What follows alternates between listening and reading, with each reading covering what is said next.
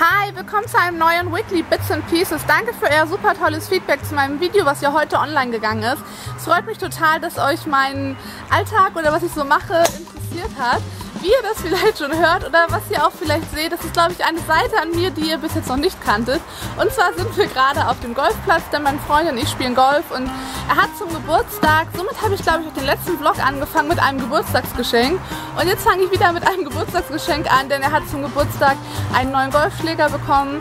Das ist für den einen oder anderen vielleicht nicht so aufregend, aber er hat sich so gefreut, dass wir jetzt sofort auf die Golfrange mussten und den austesten.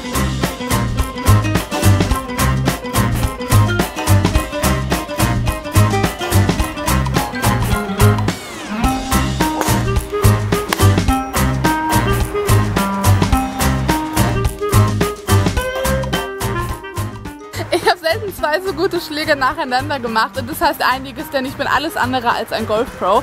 Jetzt wollen wir mal schauen, was der neue Schläger von meinem Freund so kann, denn das ist ja eine Spezialanfertigung. Also der muss ja schon sehr gut sein.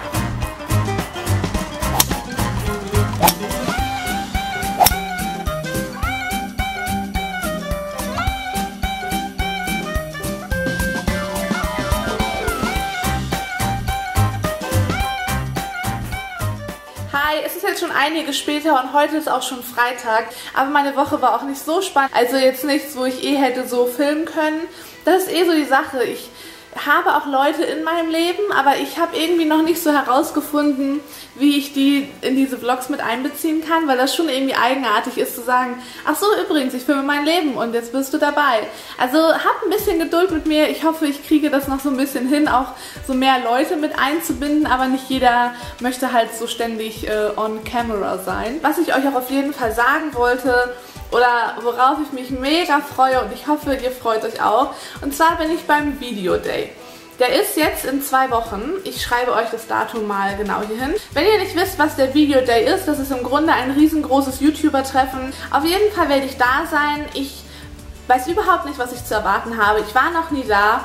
Ich weiß, dass einige von meinen YouTuber-Freunden auch da sein werden. Wenn ihr da in Köln seid und in der Nähe wohnt oder eh geplant habt, zum Video Day zu kommen und sagt, hey, ich möchte Jamina treffen. Aus welchen Gründen auch immer man mich treffen möchte.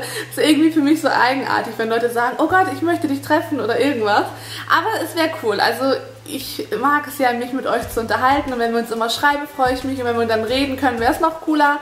Also ich wollte es nur sagen, ich bin beim Video Day dabei, bin dann in Köln, also falls ihr mich treffen möchtet, dann freue ich mich, euch zu sehen. Ich habe mir jetzt ein paar Stunden freigenommen, weil ich heute Morgen schon einiges geschafft habe, denn ich muss kurz in die Stadt, weil wir Sonntag und ich freue mich dermaßen bei meiner Freundin eingeladen sind. Die ist jetzt nämlich umgezogen ich weiß nicht, ob ich das sagen kann. Hm, man weiß es nicht. Auf jeden Fall in einem sehr coolen Stadtteil so.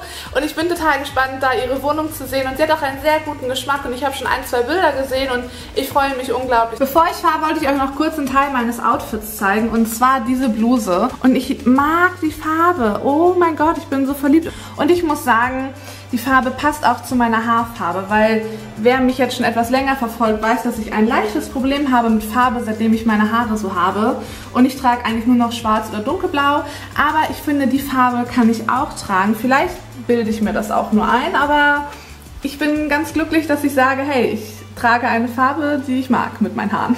Dazu trage ich natürlich meine Lieblingssonnenbrille, die auch zur Bluse passt. Meine Haare sind ein bisschen messy, beachy, trotzdem drei Stunden geglättet. Ganz wichtig, ich brauche jetzt erstmal einen Matcha-Shake, weil ich seit gefühlt drei Jahren kein Matcha mehr zu Hause habe.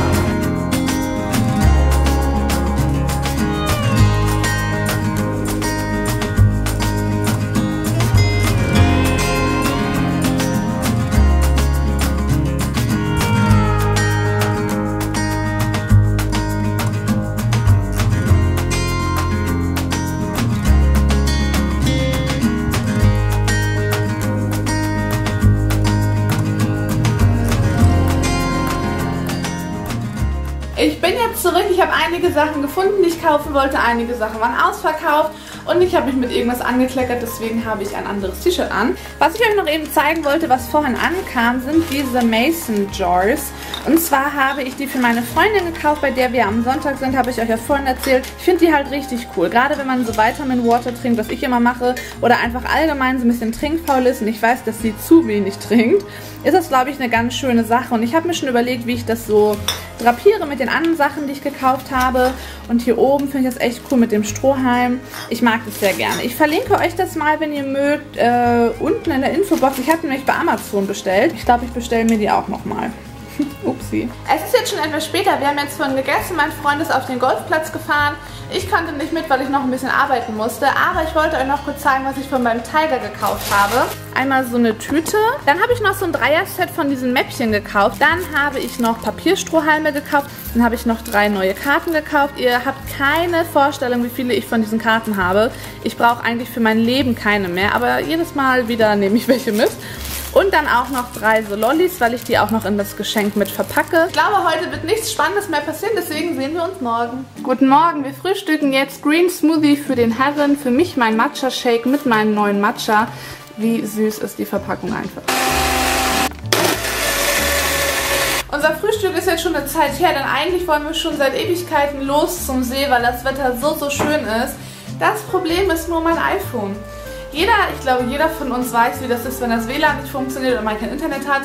Und das habe ich seit gestern. Auf jeden Fall geht es jetzt darum, dass mein iPhone zu voll ist. Ich muss jetzt die Bilder löschen, also mein iPhone leer bekommen, um das neue iOS zu bekommen. Aber Apple ist ja auch so ein bisschen besonders und man kann ja auch dann nur über iTunes gehen und dann muss ich aber erst die Bilder auf mein MacBook spielen. Und also ab und zu denke ich mir, ich bin echt ein großer Apple-Fan, aber das sind so Dinge, ey, ganz ehrlich. Also mein iPhone ist irgendwie gerade tot, mein MacBook ist überfordert und ich habe kein WLAN. Ja, ihr könnt euch vorstellen, dass mich das nicht wirklich glücklich stimmt. Und wir kommen auch nicht zum See. Wir haben es jetzt geschafft und der importiert tatsächlich Bilder von meinem MacBook auf mein, nee, vom iPhone aufs MacBook. Jetzt seht ihr einen kleinen Sneak Peek, was so auf meinem iPhone drauf ist. Das Wetter ist ja einfach so schön, richtig, richtig toll. Wir hatten jetzt einfach so viele Probleme mit dem Internet und plötzlich hatten wir gar kein Internet, Internet mehr. Deswegen haben wir gesagt, okay, wir ziehen den Bikini wieder aus, die Badehose und fahren jetzt einfach mit dem Fahrrad ein bisschen durch die Gegend und machen eine Fahrradtour.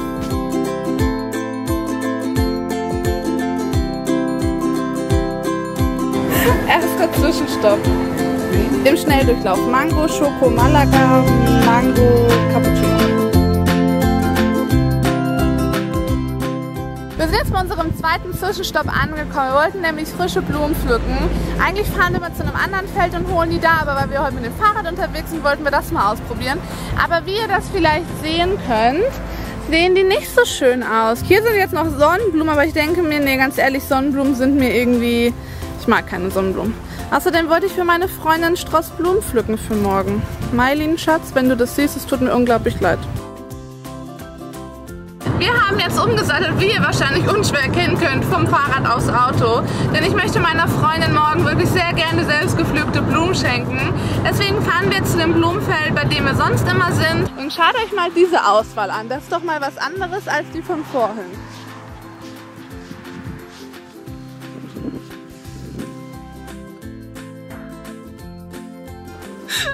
Oh Gott. Ich glaube, ich muss. Ich glaube, ich heulen. Wir wollten gerade die Blumen pflücken. Und da ist eine Maus mir über den Weg gelaufen. Ich meine, das hört sich jetzt echt vielleicht ein bisschen übertrieben an. Ich habe so panische Angst. Würde ich mir kann lieber ein Krokodil vor die Füße laufen, als eine Maus oder eine Ratte. Oh mein Gott. Ich beauftrage jetzt meinen Freund Blumen zu pflücken. Ich, das packe ich nicht. Oh, scheiße.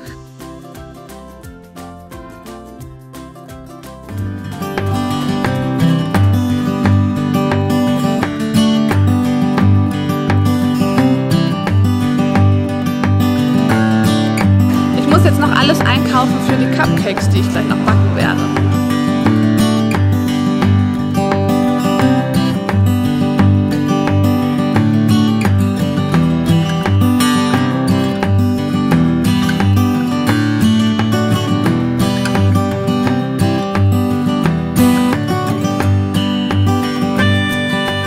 Heute stapeln sich irgendwie die Ereignisse. Es ist jetzt schon relativ spät Und ich wollte gerade mit unserer neuen Kamera, wir haben jetzt für mich noch eine neue gekauft, das erzähle ich irgendwann anders nochmal. Damit wollte ich jetzt filmen, um so ein bisschen den Unterschied zu gucken, wie die Qualität ist. Dann sagt mein Freund, oh, du hast die SD-Karte ausgetauscht, jetzt sind deine ganzen Aufnahmen von heute weg.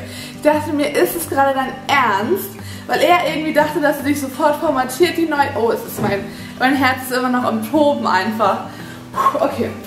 Es überprüft, die Sachen sind noch da. Wie dem auch sei, es ist jetzt 23 Uhr, ich stehe in der Küche und mache Cupcakes. Ja, wenn ihr und mir befreundet wärt, dann würde ich das auch alles für euch tun. Ich würde über Blumenfelder wandern und 23 Uhr Cupcakes für euch backen. Das mache ich nämlich alles für meine Freundin. Und zwar mache ich jetzt Wurzel, Karotten, Ingwer Cupcakes. Ja, ihr habt richtig gehört, ich mag nicht diese typischen Cupcakes. Und ich wollte euch noch kurz meine Blumensträuße zeigen.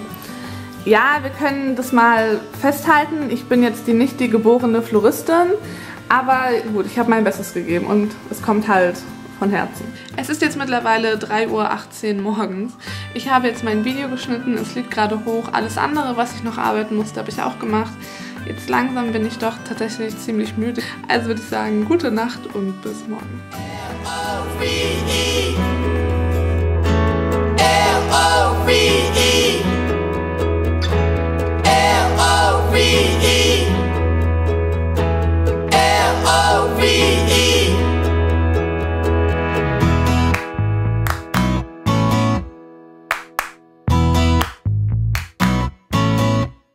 Ich muss euch jetzt noch schnell die Wohnung von meiner Freundin zeigen. Die wohnt jetzt im Souterrain und ich habe selten so eine geile Wohnung gesehen. Schaut euch mal kurz diesen Hinterhof an.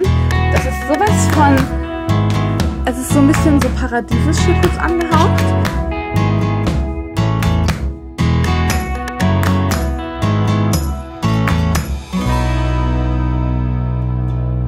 Hier oben einfach eine Baustellenleuchte. Ich bin in diese Wohnung gekommen, ich meinte, ich bin verliebt. Hier eine kleine U-Boot-Tür und dann im Bad einfach so ein geiler Bogen. Ich glaube, ihr könnt das gar nicht erkennen. Wirklich super die schöne Wohnung. Ich bin absolut verliebt. Ist einfach so schön.